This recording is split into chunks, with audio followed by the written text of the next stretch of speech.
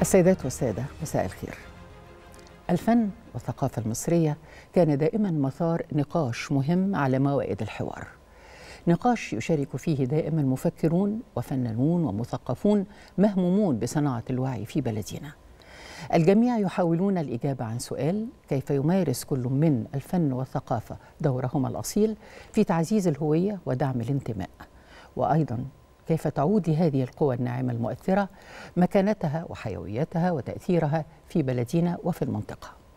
في حلقاتنا السابقة فتحنا ملفات عديدة حول الفن والثقافة بمجالاتها المختلفة واستضفنا خبراء وأساتذة كبار في حوارات تناولت مستقبل السينما والمسرح وكيف نحمي كنوزنا الحضارية من آثار وعمارة مصرية وغيرها. اليوم نستكمل حوارنا حول أحوال السينما المصرية مع واحد من صناعها البارزين الذين قدموا لنا أجمل إنتاجها من الثمانينيات وحتى الآن. مصور كبير ومخرج وأكاديمي ينتمي للمدرسة الواقعية المصرية التي ضمت جيل العباقرة من صلاح أبو سيف وكمال الشيخ وبركات إلى محمد خان وداود عبد السيد وعلي بدر خان وعلي عبد الخالق وسمير سيف وخير بشارة وشريف عرفة وغيرهم. نسأله عن السينما عن دورها في صناعة الوعي عن هموم الجيل الجديد من السينمائيين وعن أحوال الأستوديوهات ولماذا اختفت أعمال كبار السينمائيين من الشاشة. مرة أخرى حوار جديد حول السينما المصرية أحوالها ودورها ومستقبلنا في حديثنا من مصر. أهلا بكم.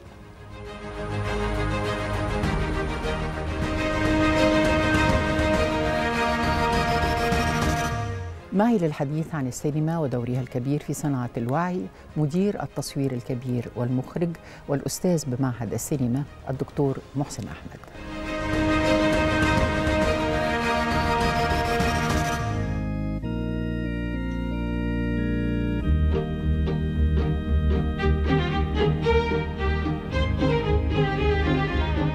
المبدع السينمائي الكبير دكتور محسن أحمد. مدير تصوير ومخرج وأكاديمي ينتمي لمدرسة الواقعية السحرية في السينما. بدأ حياته المهنية مصورا عام 1984 قبل أن يشارك في عشرات الأفلام كمدير تصوير ومخرج. حصل على بكالوريوس المعهد العالي للسينما عام 1977 ثم الماجستير في التصوير السينمائي عام 1994 وفي عام 2008 حصل على درجة الدكتوراه في التصوير السينمائي. ويمارس حاليا التدريس في عدد من الكليات والمعاهد المتخصصة. ويعتبر المخرج الكبير محسن أحمد أحد نجوم فن الإعلان التلفزيوني الحديث. وساهم خلال التسعينيات من القرن العشرين في طفرة الفيديو كليب وأدخل لأول مرة تقنيات التصوير السينمائي في الأغاني. عمل محسن أحمد في تصوير عدد كبير من الأفلام الروائية والوثائقية. أبرزها المطارد وعصر الذئاب مع المخرج سمير سيف والبداية مع صلاح أبو سيف وزوجة رجل مهم مع محمد خان والأراجوز مع هاني لاشين.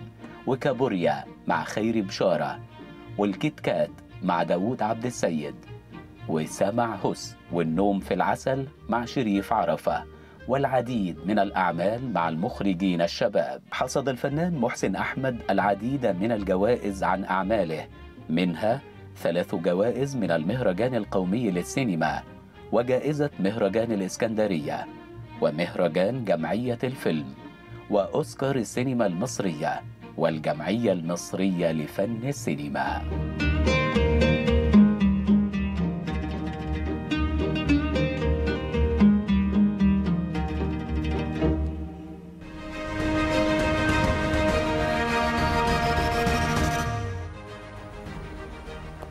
دكتور محسن أحمد أهلا وسهلا بحضرتك معانا. أهلا بحضرتك وبالسادة المشاهدين. شكرا جزيلا. آه، يعني الحقيقة مش عارفة أبتدي منين بالتحديد لكن بختار إن أنا أبتدي من حي السيدة زينب. بختار إن أنا أبتدي من سينما صغيرة سينما حي في هذا الحي الجميل اسمها سينما إيزيس هذه بداية جيدة. إيه رأيك؟ يعني حضرتك أثرتي شجوني إنه الموضوع اللي بفكر فيه وشاغلني حاليا وهو سينمات الأحياء اللي كلها تحولت إلى مباني سكنية ومخازن وبعض المصانع الصغيرة. كل احيائنا في مصر كان بيبقى فيها سينما واثنين وثلاثه يعني أنا مثلا منزل أسرتي في حي السيدة زينب وهو الشارع اللي كان عايش فيه الفنان القدير رحمة الله عليه الأستاذ نور الشريف أيوه. والمخرج الراحل علاء كريم. والممثل الراحل الأستاذ محمود مسعود وقبليهم المخرج التلفزيوني الكبير الحاج حافظ أمين الله يرحمه. مجموعة جميلة هذا الشارع كان حواليه خمسة أو ستة من دور عرض سينما الأحياء مم. منهم سينما أزيس اللي بترشيح مني للمخرج الراحل الأستاذ محمد خان تم تصوير مشهد لفيلم زوجة رجل مهم مم. في قاعة العرض الخاص الخاصة في كابينة العرض الخاصة بسينما أزيس وفي صالة السينما. سينما الأحياء دي. كان آه، بيبقى كلمه سينما الحي مم. التي لم تعد موجودة في حياتنا مش موجودة وكلها بتغلق مم. لأسباب وهي مش مفهومة مم. يعني صناعة السينما والتلفزيون أعتقد إنها منحة وهبة من ربنا لمصر وشعب مصر. أيوه. وتفوقنا في هذه الصناعة ويمكن اللغة بتاعتنا العربية. أنا على ما أذكر وأنا بصور فيلم ناجي العلي في دمشق أيوة. وفي بيروت لما كنا بنعمل شوبينج من المحلات كنت بسمع جملة غريبة قوي. أنتوا مصريين؟ احكوا. يعني هم عايزين عايزين يسمعوا, يسمعوا اللهجة المصرية. اللهجة المصرية المحببة ليهم. مم. فاللغة بتاعتنا اللي كانت متعارف عليها في كل العالم العربي كانت من خلال السينما السينما والتلفزيون مم. والثقافة والفن في مصر مم. هل إحنا عندنا وعي إن الحفاظ على ده شيء مهم ولا هنتخلى عن سينمات الأحياء طيب آه، حضرتك في البداية آم، اخترت مجال التصوير ودرست تصوير وأصبحت مدير تصوير يعني كيف يأتي هذا الاختيار؟ هيأتي من حكاية تكاد تكون طريفة وممتعة اتفضل عمتي الله يرحمها كان عندها دولاب خاص بيها في غرفتها مم. بتحتفظ بيه بكاميرا بوكس قديمة فالطفل الصغير استنى إن عمته خارجة عندها مشوار واخترع خطة جهنمية إزاي يفتح غرفتها ويتسلل عشان يطلع الكاميرا من الدولاب ويقعد يتفرج عليها ويرجعها مكانها قبل ما عمته ترجع من بره. هذه الكاميرا اللي أنا شايلها لحد دلوقتي كأحد إكسسوارات مكتبي بعد وفاة عمتي الله يرحمها أيوة. كانت أول شيء لفت انتباهي لفن التصوير. إحنا عندنا هيستوري في صناعة السينما تخطى ال تاريخ 120 طويل عام. طبعا. آه. 120 عام. عندنا صناعة سينما. فأعتقد أن الحفاظ عليه شيء مهم جدا. حضرتك عاصرت جيل المخرجين الكبار وتذكر عنهم يعني أشياء كثيرة كانت جميلة في آه، تعاملهم مع بعض وفي تعاملهم أيضا مع النص السينمائي. هل فعلا كان يعني بيتبادلوا النص السينمائي عشان كل واحد منهم يضع ملحوظات عليه لصديقه الآخر؟ يعني أنا من حسن حظي. أن اشتغلت فيلم البداية مع المخرج الراحل الكبير الأستاذ صلاح أبو سيف. أيوه. وزاملني وتزاملت معه في رحلة إلى دولة المجر مم. عشان نطبع الفيلم هناك في معامل المجر. فكان عندي من الوقت الأستاذ صلاح كان بيحب رياضة المشي. مم. فكنا بنمشي كتير. وأثناء المشي كنت بسمح لنفسي بمنتهى الأدب إني أسأله بعض عدد الأسئلة من الأسئلة آه. ففي أحد المرات سألته عن علاقات التنافس بين الزملاء فقال لي إن كل سيناريو لعمل هو عمله مم. أراه الأستاذ الراحل بركات والأستاذ كمال الشيخ وقال لي العديد من الأسماء من. زملاء مهنته اللي كانوا كلهم بيتبادلوا قراية سيناريوهات الأعمال وكل حد فيهم يكتب مل- ملحوظاته. لزميله عشان يستفيد منها أثناء تنفيذ ده شيء الفيلم. جميل جدا جدا يعني. طب وأيضا تزاملت مع مجموعة من المخرجين اللي كانوا في سنك في هذا الوقت واشتغلت معاهم. واشتغلت يعني في الإخراج فترة ثم عدت إلى التصوير. مهرجان الإسكندرية أتاح لي إني أكتب كتاب التكريم الخاص بيا. أيوه.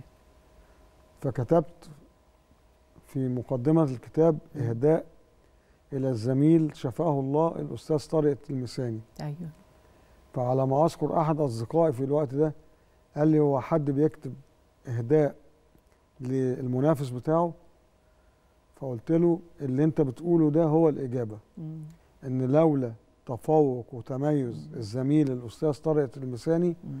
ما كنتش هبذل من الجهد والمجهود مم. وتحصيل العلم اللي يخليني أبقى على قدر المنافسة مع زميل قوي. قطعا. علاقات جميلة جدا جدا. فالحمد طيب. لله على ده يعني هعود إلى مجال التصوير.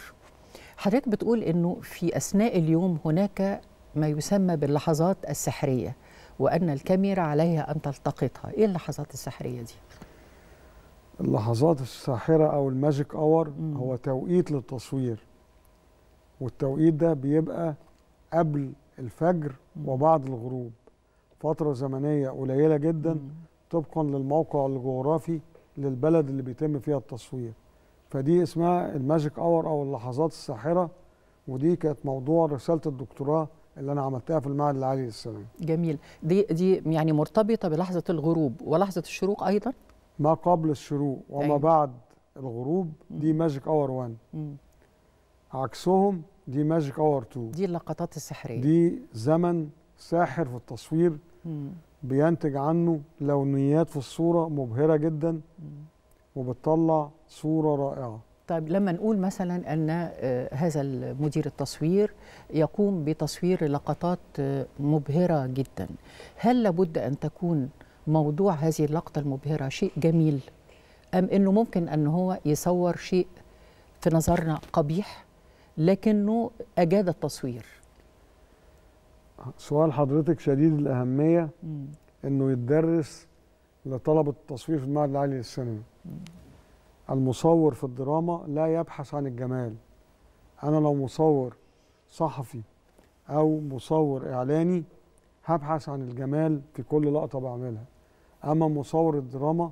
بيبحث عن الترجمة الفعلية للحدث الدرامي.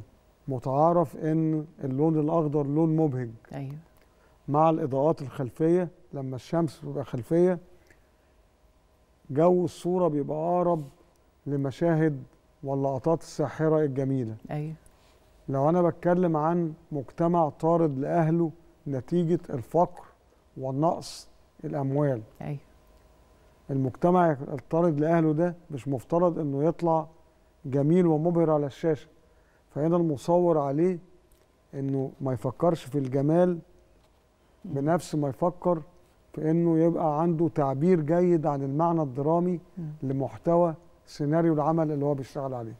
جميل البحث عن الجمال مهنة حد آخر هو مصور الإعلان ومصور أيوة. الفاشن والأشياء اللي زي كده طب جميل يعني هذا التعبير البحث عن الجمال يعني في المقابل اللي حضرتك ذكرته دلوقتي نقول البحث عن إيه يعني الجودة مثلا البحث عن الترجمة الفعلية للمحتوى الدرامي للمشاهد. آه. هناك إنك تبعد عن أساليب معينة مم. في استخدامات الضوء وعدسات التصوير إنها ما تطلعش المكان بجمال أنت مش محتاجه. أيوه أيوه. ده بيبقى وعي المصور. مم. يعني أنا بعتقد لما أتيح ليا إني أدرس لطلبه التصوير كنت بقول لهم أهم ما يميز المصور الجيد الوعي. انه يبقى عنده وعي بالدراما اللي هو بيشتغل عليها. آه، فكرة التصوير في الشوارع. يعني لما بنشوف الأفلام السينمائية القديمة على سبيل التحديد في مصر والمتوسطة حاليا يعني بنقدر نشوف آه، القاهرة زمان اسكندرية زمان آه، محافظات مصر كلها بنشوف شكل الشوارع ملابس الناس إلى آخره.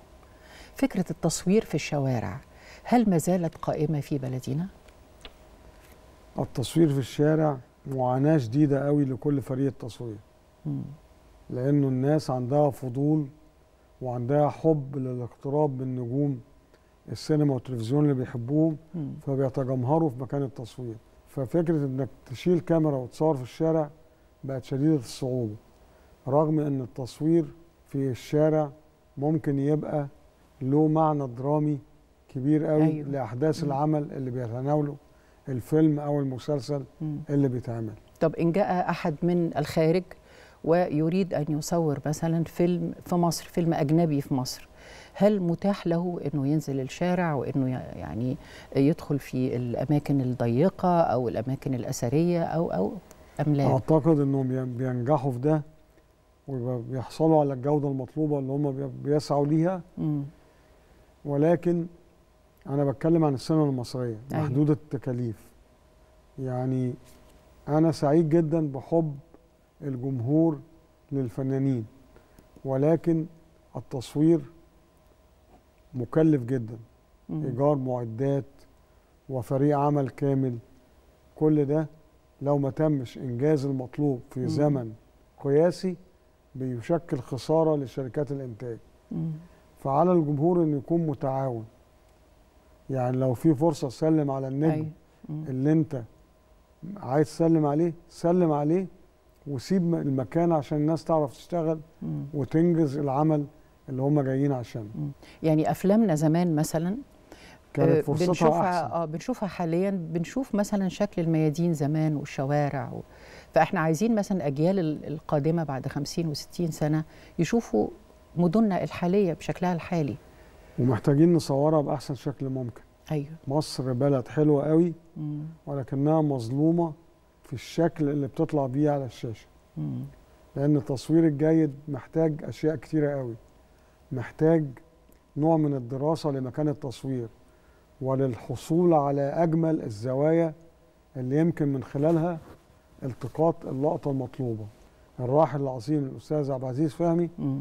كان بيقول لنا جملة إن التحضير أهم من التصوير إنك تبذل مجهود أثناء التحضير أهم من يوم التصوير نفسه. جميل. إنك تروح وتشوف المكان وتعمل معايشة له وتشوف أحسن ظروف لتوقيت التصوير المناسب عشان المكان يطلع بأحسن شكل ممكن مم. ده دراسات كلها لازم تتعمل قبل التصوير ويشتغل عليها فريق العمل ويشتغل عليها المعاهد الفنية المتخصصة في الدراسات أيوة. السينمائية أيوه يعني أنا لو سألت حضرتك سؤال أو السؤال موجه لأساتذة معهد السينما والكليات الفنية مم. أميز مكان يتعمل منه لونج شوت لأهرامات الجيزة الثلاثه. فين بالظبط هل حد عمل بحث ودراسة لهذا المكان مم. اللي ممكن أصور فيه منه الأهرامات الثلاثه في أفضل شكل المساحات والفراغات بين الثلاث أهرامات متساوية وكل منهم يبدو بحجمه الطبيعي يعني أحد الزملاء قبل كده قال لي من منطقة صحارى سيتي مم. وقال لي وقتها بنوع من المزاح ما إحنا صورنا هناك معاك من المكان ده فقلت له دي, دي مش حقيقة المكان ده بيبدو منه الهرم الأوسط في نفس حجم الهرم الأكبر أيوة، لأنه أيوة. أقرب لموقع التصوير مم. فلازم التصوير يبقى من الشرق عشان مم. الهرم الأكبر يبقى باين هو فعلا مسألة عايزة الأكبر دراسة يعني حجماً. آه آه يعني فعلا إحنا في بعض المواقع في مصر بنشوف منها الهرم الأوسط تقريبا قد الهرم الأكبر ده نتيجة اختيار زاوية التصوير. لأن أكيد في زاوية هتشوفي فيها الثلاثه بأحجامهم الحقيقية.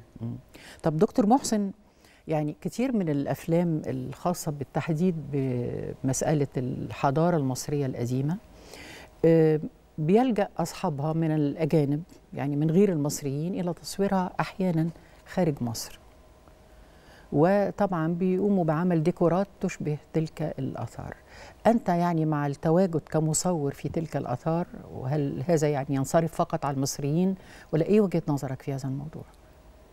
أنا شايف إن ربنا سبحانه وتعالى إدانا بلد يمتلك الكثير من المميزات مم. ومنها حضارة مصر وآثار مصر العظيمة علينا إن إحنا نجتهد إن إحنا ما نصعبش الأمر على اللي عايز يصور هنا لأن ده هيبقى دخل للبلد يعني أنا لما أعتقد إن في بلد عربي شقيق مم. ربنا يكون في عونه بعد الزلزال اللي حصل فيه أيوه المغرب الشقيق المغرب أيوه عنده منطقة للتصوير اسمها ورزازات بتحقق دخل للمغرب مم. بالمليارات سنويا من الأفلام الأجنبية اللي جاية تتصور مم. في جو الصحراء مم. وإحنا الصحاري عندنا في مصر جميلة وشديدة التميز يكفي واحد سيوة وجمال العيون المائية اللي موجودة في سيوة. صحيح. عندنا أماكن تصوير جميلة جدا ولكن عندنا صعوبات ومعوقات كتيرة قوي وشبه عدم ترحيب فالناس بتهرب. مم. يعني أي حد عايز يشتغل هيدور على مين يديله تسهيلات أكتر عشان يشتغل عنده. علينا إن إحنا نمنح التسهيلات عشان التواجد والتصوير في الأماكن بتاعتنا هي خير دعاية للسياحة عندنا في مصر. أيوه أيوه.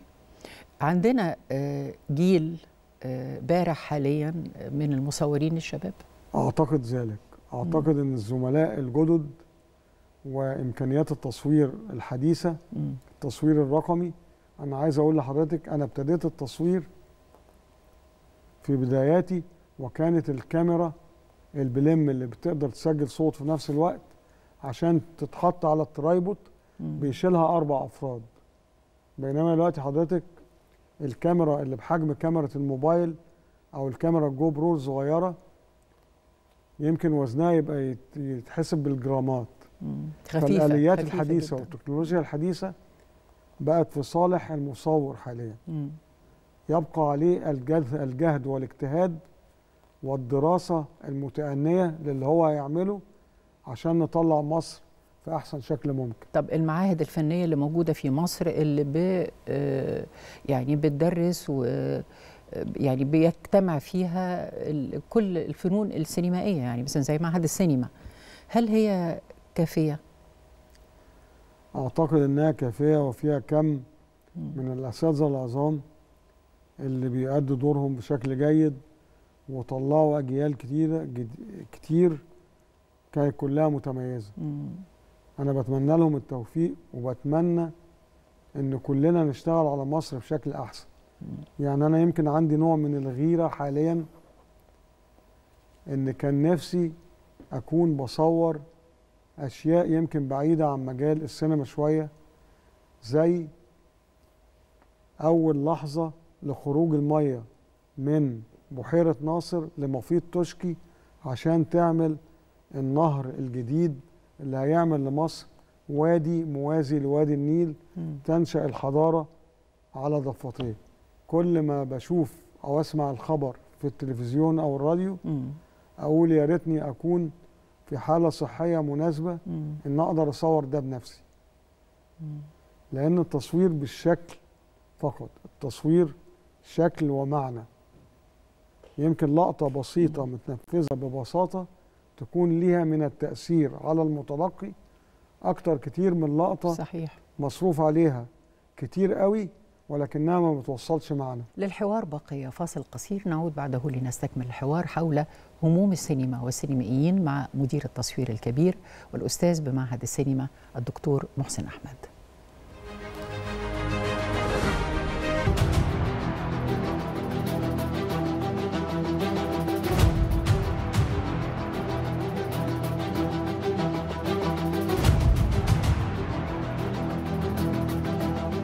المكتب.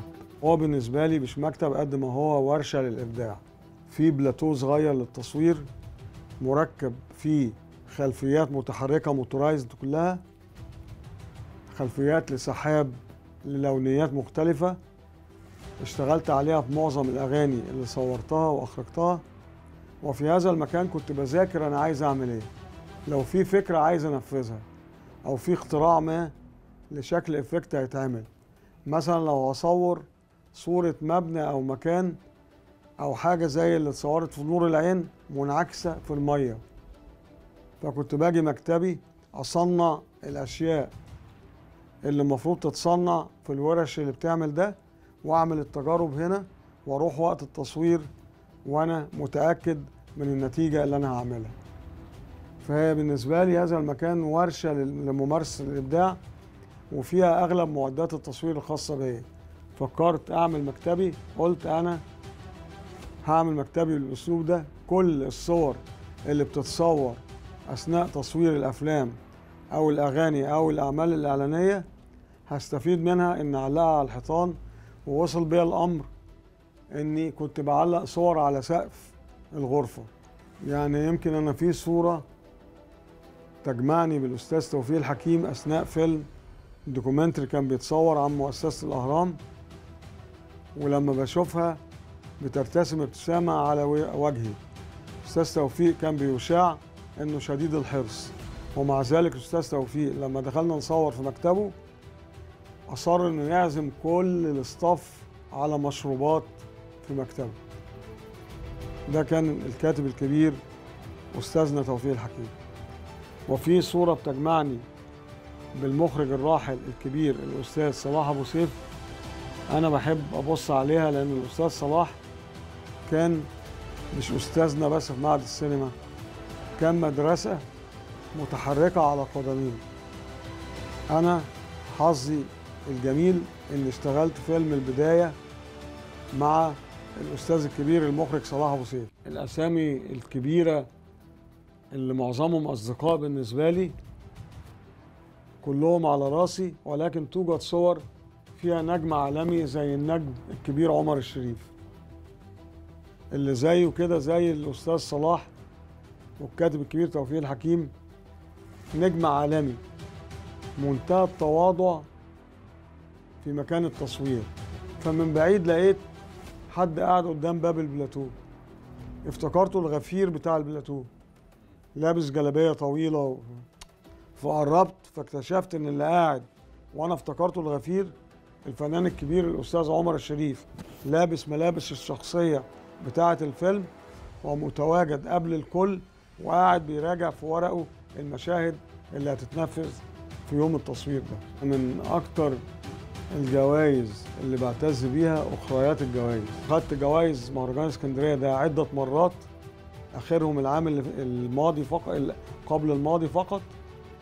وكنت عضو لجنة تحكيم أكثر من مرة في نفس المهرجان. أنا يمكن منزلي في منطقة المعادي ولكني أغلب الوقت مقيم وسط أهل السيدة زينب اللي اتولدت فيها وعشت فيها في شارع وحواليه سينما أزيز وسينما الأهلي وسينما الشرق وسينما وهبي.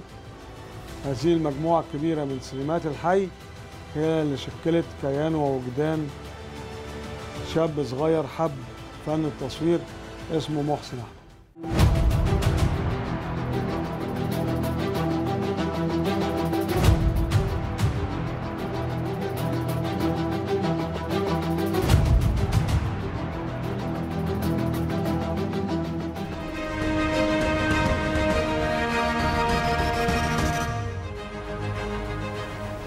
دكتور محسن أحمد عايز أسأل حضرتك سؤال. يعني حضرتك طبعا يعني عاصرت السينما المصرية لسنوات جميلة وطويلة وأصبحت من كبار آه، مديري التصوير في في السينما المصرية. هذه الخبرة الكبيرة والجيدة جدا كيف ننقلها إلى آه، مديرين التصوير ال- يعني الناشئين أو شباب. الشباب؟ يمكن مؤخرا مم. اهتميت بالتواجد في بعض الجامعات اللي بتدرس صناعة السينما. عشان أنقل الخبرة للزملاء الأصغر سنا خيركم من تعلم علم وعلمه. بتمنى إن كل من اكتسب خبرات في أي مجال إنه يسعى لنقلها للأصغر سنا عشان ده بيصب في صالح مستقبل بلدنا كل اللي إحنا بنحبها كلنا مصر صحيح أفلامك اللي أنت آه، حاسس إنك يعني بتعتز بيها أكتر. كلهم أبنائي. أيوه. ولكن. البعض من الأفلام بشوف إنه ربنا أكرمني إني تواجدت مع كوكبة من الفنانين كلها أضافت لشغلي الكثير. يعني فيلم زي فيلم الكتكات كان متواجد فيه إلى جانب المخرج الكبير الأستاذ داوود عبد السيد مهندس الديكور رائع الأستاذ أنسي أبو سيف أيوه ويمكن كنت بحكي من كام يوم لبعض الزملاء إني أول زيارة ليا لأستوديو جلال عشان أشوف الديكور اللي هشتغل فيه. فلقيت اللي قاعد وكنت فاكره احد العمال هو الأستاذ أنسي بنفسه. بيشتغل في تفصيلة إزاي الحيطة. اللي في البيت القديم يبقى فيها شكل القدم اللي المفروض يبقى موجود بنفسه. وبملابسه كاملة قاعد على الأرض بيشتغل حضرتك قولي ال- الأسماء اللي مرت بيها في حياتك الفنية الجميلة واستفدت منهم قوي ويعني توقفت عندهم كمديرين تصوير كبار أستاذ عبد العزيز فهمي مم. مدير التصوير الرائع اللي عمل لنا فيلم زي الموميا. فيه صورة شديدة الإبهار آه قوي على المستوى حقيقة. العالمي وفي كل أعماله كان بيقدم صورة شديدة الإبهار اللي بعتبره الأستاذ والمعلم. اللي كنا بنحاول نفكر إن إحنا في يوم من الأيام نقرب من إنجاز عبد العزيز فهمي. وعلى فكرة الأستاذ عبد العزيز كان مسميني الابن الضال طب الابن مفهومة يعني لماذا الضال يعني لأن في مادة تحليل الأفلام كنت تملي أدور على أشياء في أعمال الأستاذ عبد العزيز تعتبر فيها جزء من الخطأ للي هو بيقوله لنا كمعلومات عن الشكل الأمثل للصورة. كان بيهتم باحترام مصدر الضوء. يعني لو مصدر الضوء. لمبة في نص الحائط فهي مفترض تبان اللمبة دي بس هي اللي منوره المشهد. فكنت أنا أجي في فيلم زي الهارب أقول له يا أستاذ عبد العزيز نن عين مدام شادية في reflection لأكتر من مصدر إضاءة. وده معناه إن حضرتك استخدمت أكتر من مصدر للإضاءة في إضاءة مم. المشهد فطبعا دي حقيقة لا وملحوظة دقيقة وملحوظة جدا دقيقة جدا مم. فهو قال لي على سبيل الهزار أنا مش عارف أعمل فيك إيه هسميك باسم أحد أفلامي أنت ابني الضال هو كان أستاذ جميل مم. كان بيحب تلامذته وكلنا كنا بنحبه. الله يرحمه الله يرحمه بنتكلم بقى عن المستقبل شكل الصورة السينمائية هل تفتكر إنها في المستقبل هتختلف؟ الصورة فكرة. ومحتوى يعبر عن معنى. فلو انت بتفكر كويس مؤكد هتعمل شغل كويس. بينما كل الآليات والمبتكرات الحديثة. هتؤدي إلى صورة ناجحة. ولكنها لا تحقق الهدف والمعنى المطلوب. يعني إحنا دلوقتي في عصر اسمه عصر تناول الصورة بعد التصوير. أيوه. حضرتك دلوقتي بتصوري والصورة اللي بتتصور بتخش على أجهزة الكمبيوتر. ينم يتم تناولها بالكامل على الأجهزة وتصحيح الكثير من الأخطاء عشان تبدو في أحسن شكل ممكن ده حققته التكنولوجيا الحديثة مم. لكنها مش هتصلح الفكر اللي فكر بيه. مدير التصوير في صنع الصورة مم. هتضيف له لكن مش هتحقق له الفكر المطلوب من أفلام حضرتك فيلمين مهمين جدا جدا زوجة راجل مهم والكيت كات يمكن أنا عندي إضافات يعني فيلم زي البداية مع الأستاذ صلاح أبو سيف مم. أنا بعتز بيه جدا. طبعا. وأفلام أخرى. زوجة رجل مهم مم. عمل شديد التكامل. ممثل بقامة الفنان الكبير الأستاذ أحمد زكي. الله يرحمه. أيوه. ممثلة كبيرة زي الفنانة الكبيرة ميرفت أمين. أمين. أيوه. ومخرج بقامة الأستاذ محمد خان. وسيناريو لكاتب كبير زي الأستاذ رؤوف توفيق كل هذه الكوكبة مجموعة فاخرة يعني مصور مجتهد. طلعت زوجة رجل مهم وأضافت للمصور الصغير المجتهد ده. إنه يبقى عنده في السي في بتاعه فيلم اسمه زوجة رجل مهم ومثله الكثير من الأعمال اللي تواجد فيها فنانين كبار. زي اسم الأستاذ صلاح أبو سيف زي اسم الأستاذ أنسي أبو سيف. زي الأسماء الكبيرة اللي أتيح لي أشتغل معاها وزي أسماء الشباب الموهوبين زي شريف عرفة وعمرو عرفة اللي قدمت معاهم أعمال أنا سعيد جدا بيها وفرحان إني كنت موجود معاهم فيها جمهور السينما الحالي في مصر. يعني عدد دور السينما قل والعدد الأفلام المنتجة سنويا أيضا آه، يتناقص. هل ما زال عندنا ما يسمى بجمهور السينما؟ يعني أنا كنت آه، بسأل السؤال ده للكثير من الأصدقاء هي. ظاهرة عالمية طرق العرض اختلفت.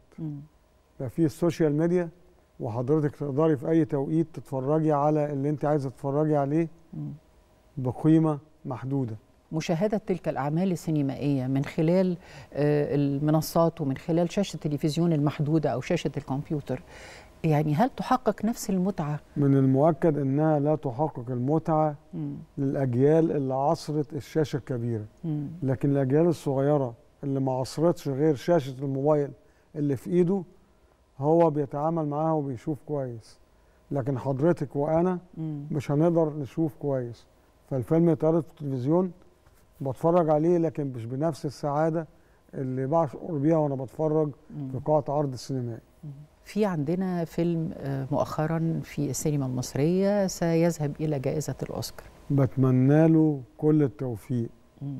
بس لازم نحط في الاعتبار إن البرودكشن بيفرق في أشياء كتيرة قوي يعني لما يبقى عند حضرتك فيلم انت مضطرة تخلصيه.